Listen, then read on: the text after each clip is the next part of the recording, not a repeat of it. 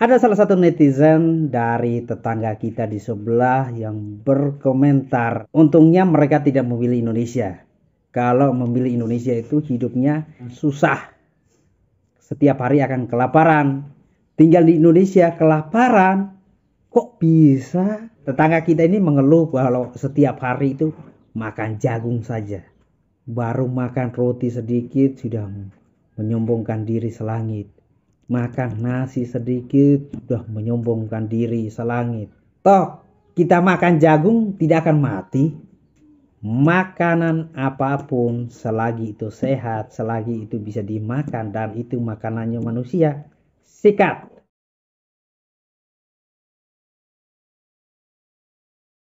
Ada salah satu netizen dari tetangga kita di sebelah yang berkomentar di video saya katanya seperti ini. Nasib. Untungnya mereka tidak memilih Indonesia. Kalau memilih Indonesia itu hidupnya akan susah. Setiap hari akan kelaparan. Setiap hari makan jagung, mau makan nasi saja susah. Sedangkan apa-apa di perbatasan itu mahal dan juga kalau mau cari makan di luar itu susah. kalau kita tinggal di Indonesia katanya ya. Itu kita kelaparan apalagi memilih untuk menjadi warga negara Indonesia. Waduh itu sangat bahaya sekali. Nah teman-teman saya mau jawab ya. Sampai sekarang itu saya tidak melihat ada warga di sekitar sini mati atau meninggal karena kelaparan ya. Sekarang sudah 25 tahun lebih di sini, tapi saya tidak mendengar ada warga yang mengeluh bilang, aduh kami berhari-hari tidak makan, kami kelaparan. Kita lapar, itu wajar. Tapi kelaparan itu sangat tidak wajar ya. Tipe-tipe orang seperti itu otomatis kita bisa kategorikan sebagai orang yang pemalas. Tidak bisa berusaha tidak mau mencari ah. jalan keluar, maunya instan. Nah, kalau pemikirannya seperti itu ya mau di negara sekaya apa pun, tapi kalau kamu kamunya yang tidak mau berusaha, tidak mau mencari solusi, masa ya harus mengeluh ke orang lain? Orang seperti itu kalau dia lapar pasti hubungannya dengan tetangga itu tidak baik. Makanya dia kelaparan seperti itu. Sesusah-susahnya warga Nusa Tenggara Timur, sesusah-susahnya orang Indonesia saya pastikan pasti tidak akan sampai kelaparan, apalagi sampai tujuh hari tidak makan. Kenapa? Mindset sepele saja ya. Misalnya saya lapar, saya tidak ada makanan di rumah. Pasti mutar nih otak saya. Bagaimana caranya supaya hari ini saya bisa makan? Ya entah pergi ke saudara saya atau pergi ke tetangga saya yang kalau mereka punya makan, saya ditawar bisa dapat makan di situ. Itu hal sepele saja. Nah, kalau sampai satu minggu tidak makan itu omong kosong. Omong kosong. Kenapa saya bilang? Kalau orang tidak makan sampai satu minggu itu pasti beritanya sudah viral teman-teman. Akan sangat jahat sekali tetangga di sekitarnya kalau melihat tetangganya kelaparan sampai satu minggu. Di daerah mana pun pasti ada saja warganya yang susah. Entah susah mencari uang atau uh, pendapatannya pas-pasan. Tapi tidak sampai sesusah amat lah masih bisa makan lah. Nah teman-teman jangan pikir bahwa kami yang tinggal di batas negara seperti ini tidak ada pekerjaan kasar yang kami tidak bisa dapatkan. Masih banyak kok. Kalau kamu tidak punya uang atau tidak punya makanan, cobalah keluar. Carilah teman-temanmu yang sering bekerja di proyek. Pasti ada solusinya.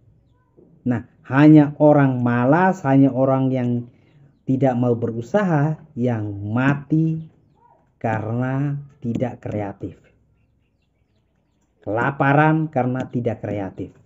Di Indonesia ini terlalu banyak pekerjaan. Tapi kadang gengsi yang membuat orang susah.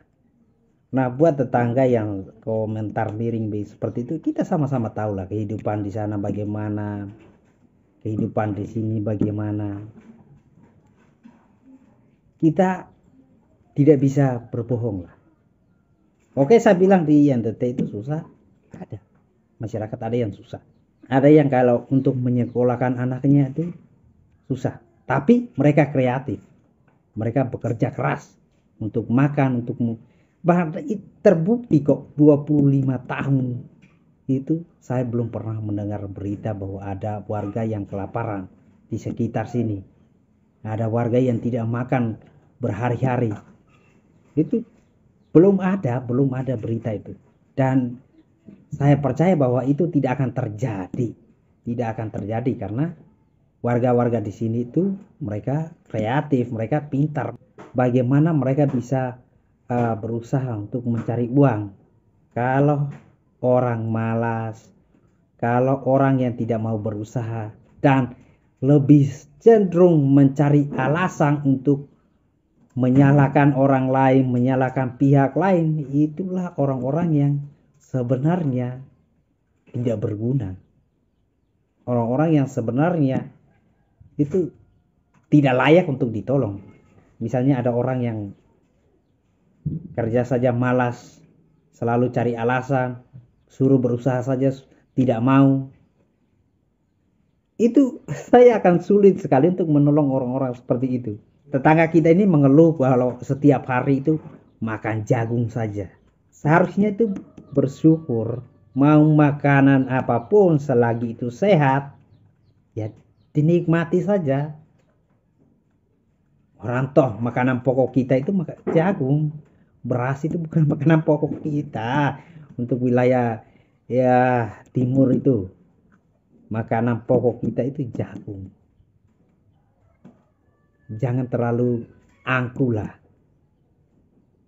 Baru makan roti sedikit sudah menyombongkan diri selangit. Baru makan nasi sedikit sudah menyombongkan diri selangit. Jangan angku. Toh kita makan jagung tidak akan mati.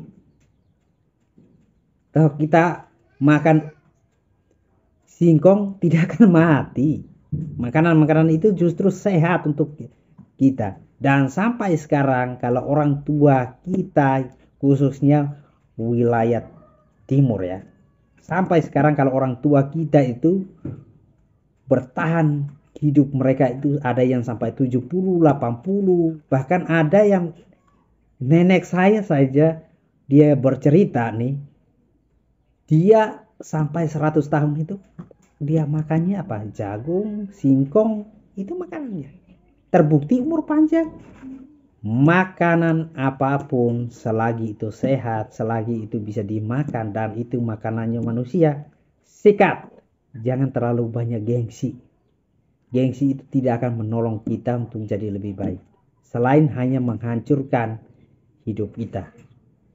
Dan jangan terlalu mengkambing hitamkan orang atau mengkambing hitamkan suatu negara atau tempat yang kamu tinggal, daerah yang kamu tinggal. Kalau kamu susah, pertanyalah kenapa kok kamu tidak bisa makan? Kenapa kamu tidak bisa punya uang? Ya karena pada dasarnya kita itu pemalas. Malas untuk berusaha. Maka kita akan hancur. Oke?